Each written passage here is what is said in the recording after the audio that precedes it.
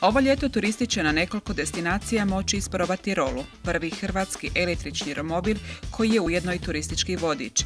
Iza projekta stoji zagrebačka tvrtka IDI u čijem je timu osmiro prijatelja koji su posao pokrenuli u garaži. Želimo proizvodnju što više e, fokusirati na hrvatske tvrtke kao naše partnere kako bi što više to bio hrvatski proizvod. E, trenutna e, serija koja je proizvedena za ovu prvu sezonu je 40 romobila električnih i popratnih 8 e, punionica koje zapravo čine početak i kraj e, svakog najma i zajedno sa mobilnom aplikacijom cijela kombinacija tri proizvoda čine rolu. Za sada je rola dostupna turistima na dvije lokacije, u blizini Plitičkih jezera i na jednoj u Istri, u Premanturi. Dizajnirana je tako da bez problema može voziti uzbrdo uz nagib do 30% po travi i po makadamskim putevima. Jedno punjenje baterije ima doseg do 50 km, odnosno 2 sata kontinuirane vožnje. Romobil ima jako čvrstu, robustnu konstrukciju. Što se tiče sigurnosnih karakteristika, e, naš romobil ima pokazivače smjera kako bi se i svi uokolo samog korisnika osjećali sigurno, pošto danas zapravo romobili imaju tu nekakvu stigmu nesigurnog e, prijevoznog sredstva.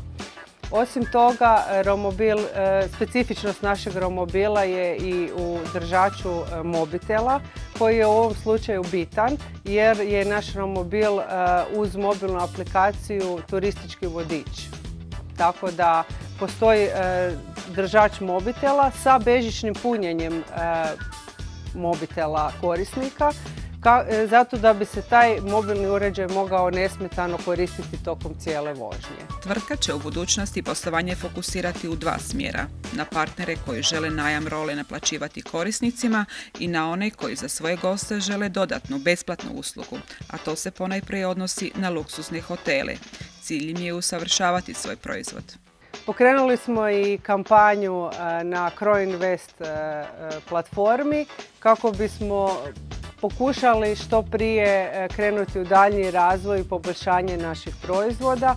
Prvenstveno u vidu ekološke osviještenosti, odnosno korištenja biorazgradivih materijala poput konoplje za konstrukciju naših proizvoda. Rola kao turistički proizvod u prvom je redu namijenjena turističkim objektima, ali jedna od opcija u budućnosti jest i suradnja s gradovima.